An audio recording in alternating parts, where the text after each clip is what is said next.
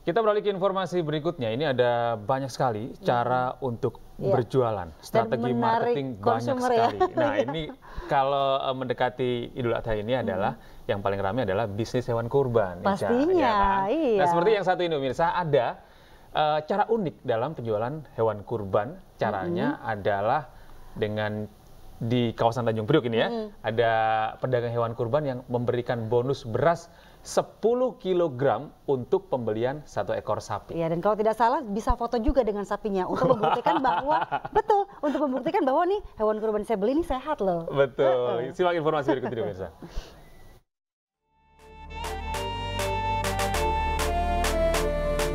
Ada yang unik di lapak penjualan hewan kurban di Jalan Jati Raya, Sungai Bambu, Tanjung Priok, Jakarta Utara. Terpampang sebuah spanduk bertuliskan bonus satu karung beras bagi yang membeli sapi.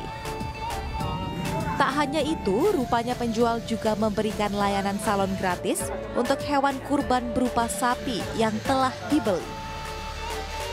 Sapi yang dibeli dimandikan dengan sabun, lalu dipijat dan dihias dengan pita.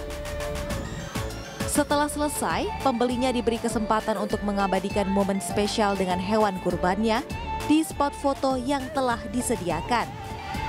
Bahkan penjual juga memberikan bonus satu karung beras seberat 10 kg kepada pembeli hewan kurban. Layanan ini tentu saja mendapat respon positif dari pembeli, apalagi harga beras saat ini yang sedang tinggi. Saya udah tahun keempat tahun kalau bisa di sini beli bersihin. Yang pasti tahun ini saya dapat beras satu karung nih, mantap kan, lumayan harga beras lagi susah.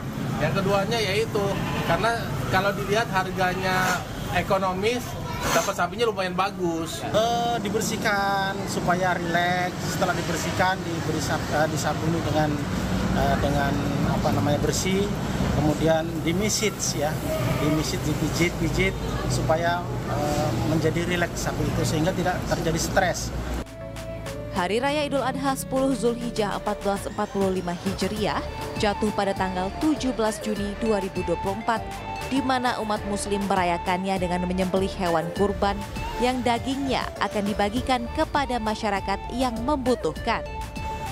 Dari Jakarta, Sofian Firdaus, iNews melaporkan.